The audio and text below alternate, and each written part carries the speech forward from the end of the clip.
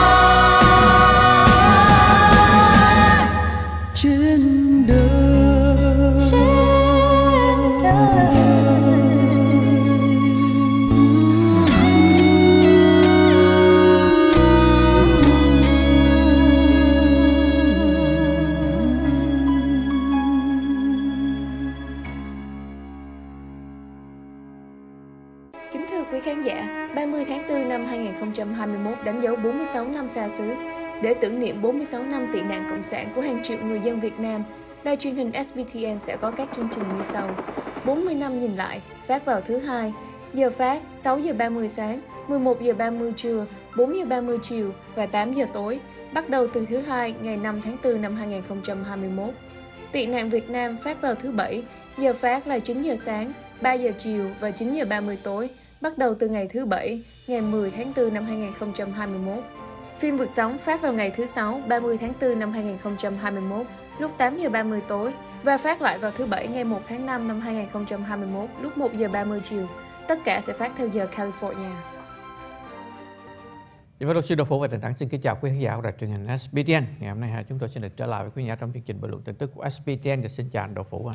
Vâng, xin kính chào quý vị khán giả đài truyền hình SBTN và chào anh Tường Thắng. Dạ vâng, ạ, kính thưa quý khán giả thì được biết là hôm thứ Bảy vừa qua đã có một cái cuộc biểu tình à, tuần hành tại à, Mount Square Park ở thành phố Van Valley để mà chống lại cái vấn đề kỳ thị người Mỹ gốc Á. Thì à, được biết là anh à, anh anh Phủ cũng có mặt trong cuộc biểu tình đó thì anh có thể cho quý khán giả được biết cái cảm nghĩ của anh như thế nào trên trên Phủ. Dạ, tôi có tới để quan sát cũng như là tới tham dự cái buổi mà buổi sáng đó trước khi mà họ lên đường đó. Dạ. Thì chúng ta thấy là khoảng chừng hơn 100 người tới 200 người mà phía bên ủng hộ những cuộc ừ, sự chống kỳ thị của người à, châu Á ở đây. Dạ. À, và chúng ta có rất đông người da trắng và các sắc dân bạn khác Dạ. à, tới ủng hộ à, cái chuyện mà không có nên kỳ thị người da trắng. Ờ, người À, da, người da người da màu. da màu. và trong đây là người da vàng chúng ta Dạ. à, rất đông người tới và các em trẻ cũng tới thì trong lúc mà họ tới thì có một anh da trắng và bên kia đường đó anh Thắng Dạ. thì có một số người MAGA MAGA là một người ủng hộ tổng thống Maga Trump Maga mà người gốc Việt Người gốc Việt. đội người gốc Việt MAGA, đội đó MAGA đi qua bên kia và ủng hộ da trắng nó là trong đó là chúng tôi save socialism là cứu Dạ. nước Mỹ um, à, chẳng hạn có những cái bạn nhưng mà khoảng 10 người thôi Dạ. nhưng mà có một anh da trắng là có thể từ phía bên đám MAGA đó qua À. tức là số một người Maga gốc Việt đó, đó. Maga. Dạ. À, ủng hộ họ dơ cao các bạn ông Trump lên nhưng mà ông Trump hết làm tổng thống rồi Dạ. thì anh da trắng nó qua bên đây và anh đã à, coi như là à, Phản đối. phản đối và cầm cái bảng thì trong cái cái quảng cáo cái này chúng ta thấy là anh cầm cái bảng anh anh giơ lên và trong cái cái cái cái cái, cái, cái um, phỏng vấn của anh Nam chúng ta cũng thấy Dạ. à, à, your benevolence tức uh, your obedience tức là cái sự mà Bất tuân. à, bất tuân của quý vị á, là kéo dài cái uh, nightmare này Dạ. tức là kéo dài cái chuyện này ra Dạ. đó thì, uh, quý vị chút xíu nữa chúng ta sẽ thấy cái hình ảnh của cái cái cái à, cái anh đó anh à, cầm cái bảng và anh anh xô sát đó chứ phải không đâu. Dạ. tức là à, phía mấy người bên đây đó họ cũng ra họ đưa lại. Họ nói là là là đã, gần như đuổi anh đó. Dạ. thì thì người ta khuyên là không nên. Là tại vì cái đây chỉ là cái chuyện mà bên phía những người mà mà quá khích đó da trắng quá khích đó họ muốn chúng ta gây chuyện với họ mình nhưng mà cái đó chuyện chuyện da trắng họ họ họ qua họ chửi bảo là go home hoặc là đi về nhà đi Dạ. à, chuyện đó mình hiểu Dạ. cái mình không hiểu đó là tại sao có những người gốc Việt đứng bên kia đường Dạ. mà lại tôn trọng những người da trắng này Dạ. Ờ, cái cái cái chủ thuyết thượng tôn da trắng này Dạ. chúng ta con người chúng ta đều coi ngang với nhau hết mình không Dạ. có à, mình không có kỳ thị ai vào với ai Vâng. à, nhưng mà mình chỉ không hiểu là tại sao những người mà khi một nhóm nhỏ đã tới đây đó ông cầm cái bảng lên nè đó cái anh này là anh da trắng này là Dạ. đó Dạ. anh cầm cái cái cái bảng lên đi từng thắng thấy không Dạ. đó rồi bên phía bên kia đám maga thì cầm cái bảng đó no socialism chứ không ủng hộ gì cả Dạ. thì cái mình không hiểu là những người à, gốc Việt kia đó mà ủng hộ ông Trump đó mà họ nghĩ luôn là chúng tôi không bị kỳ thị đó Dạ. và tôi ủng hộ da trắng đó họ nghĩ như thế nào Họ nghĩ tôi họ- đoán á, là một trong những cái chuyện đó mà người lớn tuổi nhiều lắm anh từng thắng nha trong khi bên đây là người trẻ nhiều hơn tức Dạ. là bên phía mà ủng hộ cái chuyện này chúng ta thấy người da trắng và người trẻ rất là nhiều Dạ. à, thì một trong những cái mà có thể là họ cảm thấy như vậy đó là tôi nghĩ là thứ nhất họ không hiểu vấn đề kỳ thị đó là Dạ. một cái thứ nhì nữa là những người lớn tuổi đó anh từng thắng một số người lớn tuổi ở bên đó khoảng 10 người thôi Dạ. nhưng mà tôi thấy là những người những quý vị lớn tuổi đó mình thấy tội nghiệp người ta Dạ. có thể là họ từ cái thời mà à, à, về vấn đề mà thời xưa đó họ bị cái ảnh hưởng của người da trắng là người tây họ đô hộ đang là một ngàn năm đô- hộ giặc tàu 100 năm đô hộ giặc tây Dạ. thì đôi lúc cái sự mà đô hộ họ thấm nhuần cái văn hóa đó là da trắng thượng tôn họ ok Dạ. họ thấy da trắng trên mình không sao hết Dạ. còn người trẻ dĩ nhiên họ lớn lên bên đây và họ hiểu cái vị chủ bên đây họ nghĩ con người đều bình đẳng với nhau Dạ. cái nào không chấp nhận cái sự mà thù hận đó Dạ. không chấp nhận có sự kỳ thị đó Dạ. thì những vị lớn tuổi đó có thể họ bị những cái đó trong đầu của họ có chăng mình không biết. Mình, Mình không hiểu. mình mình, không hiểu được anh được thắng mà họ có thể họ nghĩ họ là trái chuối họ trong ngoài vàng trong cái, trắng cái, cái đó nó trở lại cái vấn đề văn hóa là có thể họ là những người mà bị sống trong cái thời mà tây đô hộ vào cảm nhận cái chuyện đó là chuyện ok Dạ vâng. Ờ, nhưng mà thêm một cái câu hỏi đặt ra là thưa anh có thấy ờ, một cái phe cộng hòa nào đến ờ, ủng hộ nghe nói anh Tạ Trung là người tổ chức cái cuộc biểu tình này. Anh cũng đã gửi thư mời rất nhiều các nhà lập pháp của cộng hòa ờ, gốc Việt và cộng hòa người Mỹ đến tham dự cái cuộc biểu tình này thì anh có thấy người nào đến tham dự không?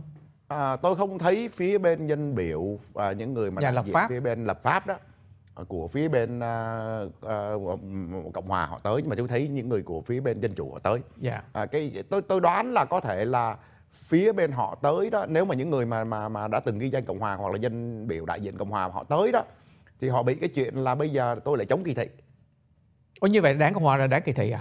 thì cái vấn vấn đề nhưng mà tại vì họ đã từng đi theo ông tổng thống Trump thì bây giờ À. giống như là họ có thể bị đảng họ um, đưa những cái chuyện này lên và chính người trong Đảng cái đảng trong họ đó là vào phản đảng Kỷ, à, kỷ luật, dạ. là Phản kỷ luật đó tức dạ. là tại sao bây giờ đi chống kỳ thị Dạ.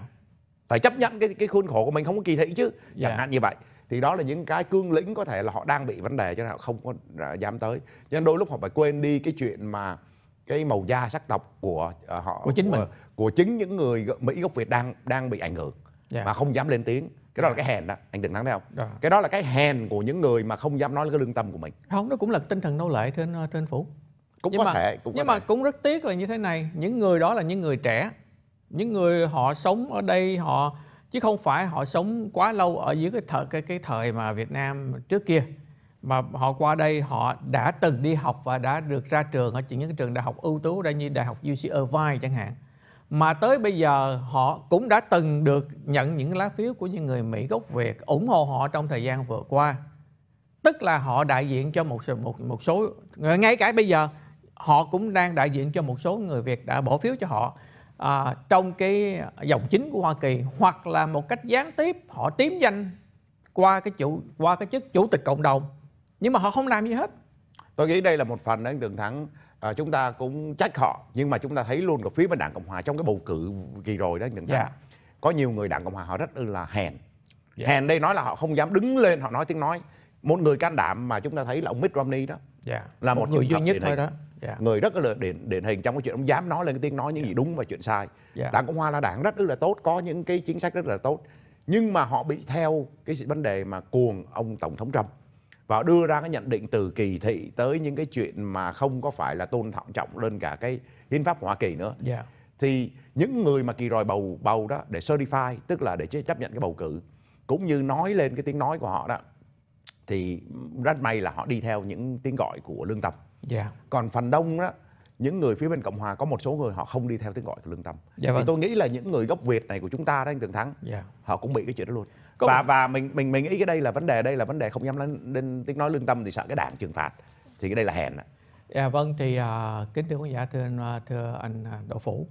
Trong cái vụ mà sau khi George Floyd bị chết á bởi một dưới bàn tay của người cảnh sát da trắng là Chauvin á Devin Chauvin á thì cái phong trào mà Black Lives Matter nó xuất hiện và nó lan rộng trên toàn cầu chứ không phải chỉ ở Hoa Kỳ này không.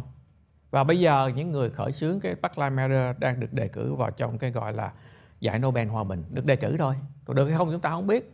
Nhưng mà nó ảnh hưởng đến toàn cầu từ úc qua âu châu qua tới bắc âu qua tới uh, tới á châu là chẳng hạn như tokyo cũng xảy ra những cái ờ, những cái phong trào Black Lives Matter đòi hỏi sự bình đẳng và chủng tộc một số người Việt, chúng ta được biết, cười đùa trên cái cái phong trào đó và có rất nhiều người da trắng đã ủng hộ phong trào này có một cô gái da trắng ở thành phố Seattle bị đụng xe chết vào ban đêm khi cổ biểu tình với nhóm Black Lives Matter trên cái xa lộ của Seattle. Một người Việt Nam đã viết trên Facebook cười đồ rằng đáng đời. Nhưng mà chúng ta qua tất cả những cái thấy đó, bây giờ chính cái cộng đồng người Việt gốc, người gốc Á, trong đó có người Mỹ gốc Việt, da vàng bây giờ trở thành một cái mục tiêu để cho những người da trắng kỳ thị. Thì câu hỏi đặt ra là, trong lúc mà anh cười đùa trên cái phong trào của Black Lives Matter, thì bây giờ trong những lúc như thế này, anh cần cái sự đoàn kết của những sự sắc tộc khác nhau. Làm sao anh có thể kêu gọi những cái phong trào như Black Lives Matter họ ủng hộ anh trong cái vấn đề mà giải quyết cái tình trạng kỳ thị chủng tộc này mà cái kỳ thị chủng tộc này nó có hệ thống hệ thống từ ông cựu tổng thống Donald Trump ông đưa xuống chứ không phải là một cái một- là nghĩ- một cái một cái nó chỉ nhắm được một cái chuyện bình thường. Đây là một nó được hệ thống hóa rõ tôi nghĩ ràng đây là một cái bởi cái ông Trump À, tôi nghĩ là bị cái sự kém hiểu, hiểu biết đó của một số người lớn tuổi đó quý vị Dạ. lớn tuổi đó. Họ không có hiểu lịch sử nước Mỹ. Họ không hiểu cái sự tranh đấu của những người da màu. Dạ ở trong đó có chúng người chúng ta bây giờ là chúng ta cũng nên tranh đấu cho người da màu cái quyền lợi của mình lúc nào chúng ta cũng phải tranh đấu. Dạ. Cho nên tôi nghĩ là họ vì vấn đề thiếu hiểu biết thôi đừng thắng. Dạ. con cháu có lẽ họ hiểu biết hơn. Ô hiểu. À, đúng nhưng mà người lớn đó có một số người lớn họ không hiểu. Dạ. Và họ để cái cái cảm tính của họ đó nó dồn nén lên. Cho nên họ không chịu học cái mới. Và nói chuyện con cháu cũng không không không, không, không hiểu nó đôi lúc không hiểu. Cho nên mình tội nghiệp nhiều mình thấy đáng thương đấy đừng thắng. Dạ vâng, hoàn toàn đồng ý với cái đó. Vâng, trước khi trở lại buổi nói chuyện à, à, với lại à, quý khán giả trong chương trình bình luận tin tức, tôi xin mời quý khán giả theo dõi phần thông tin online của đài truyền hình SPTN. Chúng tôi xin được trả lời, à, chúng tôi sẽ trả lời trong giờ đây. Đài truyền hình SPTN đã cho ra mắt DVD Những ngày xưa thân ái. Chương trình sẽ đưa khán giả bước vào dĩ vãng. Quý vị có thể order trên online sptn.tv hoặc mua digital copy trên sptngo.com.